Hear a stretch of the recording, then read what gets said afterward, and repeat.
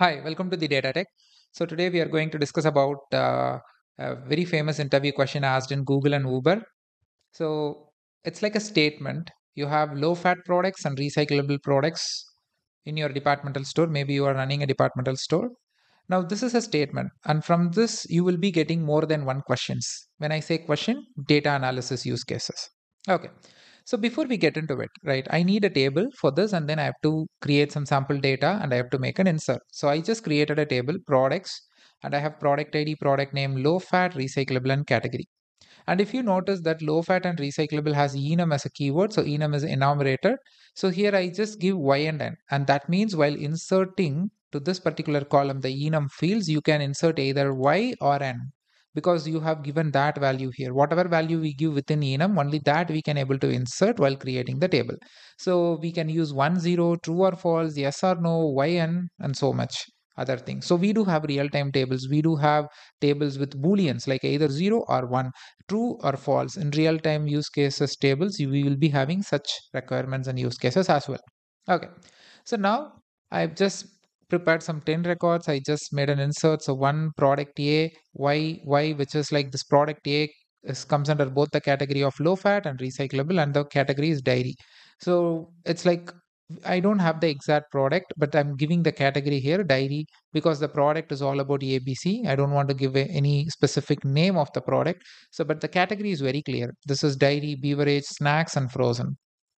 Now let me first show you the output of the select statement. So SQL, let me uh, enter my magic command. So SQL for notebooks.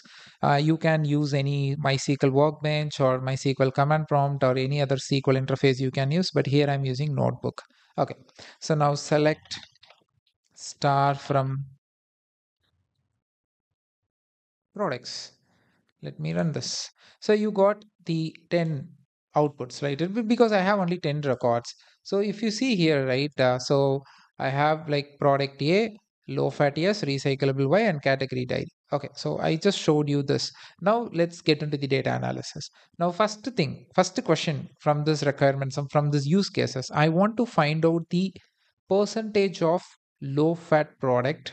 I mean when I say low fat, Y. Okay, number of products that has y you have to find the overall percentage right? So what is the formula for identifying the percentage? So you have to first take the count of product which has y and then divide that with overall count of the table and then into 100 multiply that with 100 so that is a generic average uh, finding formula right? So let's do that. Now i'll go with magic command and then like i have to first select count star from products where low underscore fats equal to y.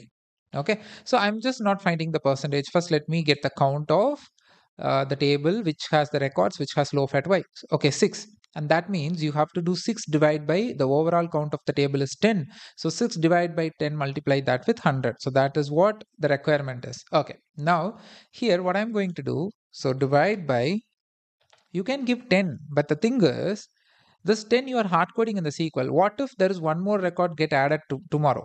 Right? Incrementally, the record can increase. So whenever there is a new count come, I cannot go to my table and then change this hard code value to something else every time. That is a bad practice. So what I'll do, I'll just create a subquery. Okay, select count star from products okay. Okay. So if you see this count has a condition that is low fat equal to y. Okay. But this particular count star doesn't have any condition. It gives always 10 or whatever the count of the table is. Now what you have to do? You have to just multiply this with 100 now let me run this query. 60% obviously right? Out of 10 6 record has y means then obviously it is a 60% of records has low fat. Fine. So now what is the next requirement. Okay. Total recyclable products by category. Okay. Let me take the same query. Okay.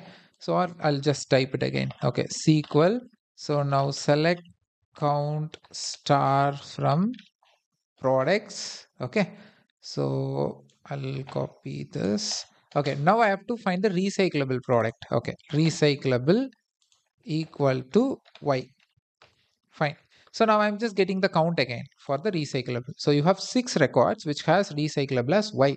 Now you have to find out the category based count. Now I'm giving overall count. You have to give the count based on how many uh, dairy product has recyclable, how many beverages has recyclable. So category based count you have to give. For that what you have to do, you have to add the category column also as part of your select. Okay.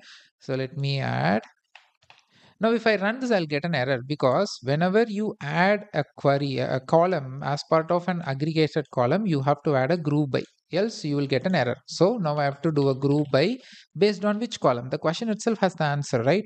You have to get the count based on the category. So you have to group the category and then you have to get the count. Now let me run this and it says dairy we have one recyclable. For beverage we have two recyclable products. For snacks we have one recyclable product and for frozen we have two recyclable product. So this is what the requirement is. Fine.